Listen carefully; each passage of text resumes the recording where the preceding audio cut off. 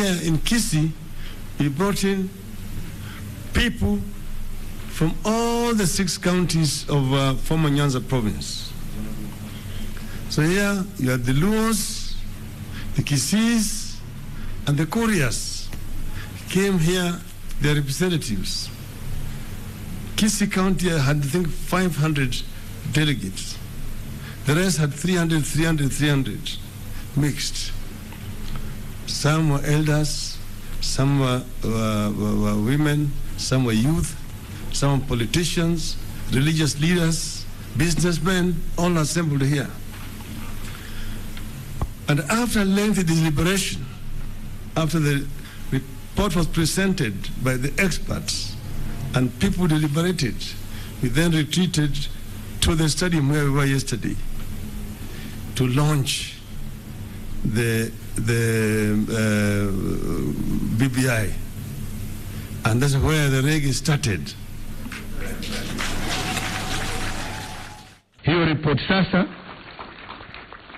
ndio tumeipokea na tukawaambia wasi, they should not constrain themselves only to constitutional issues. They should also look at legislative issues. They should also look at policy issues. They should also look at administrative issues. And I want to thank you because I think you have done it in that holistic manner.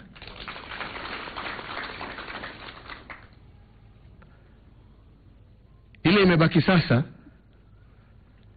ni Wakenya tuisome, na tuisome sio tukiwa tumeweka kufia ya kisiasa, tuisome kama wananchi wa Jamhuri ya Kenya. Let us read it as individual citizens because it is about your life, it is about the life of your children, it is about the life of even your children's children.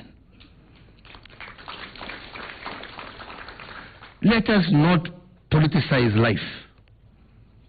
Because as I said yesterday, politics will come and go. But this life that we live and this society that we call Kenya is here to stay. And we have a particular moment in history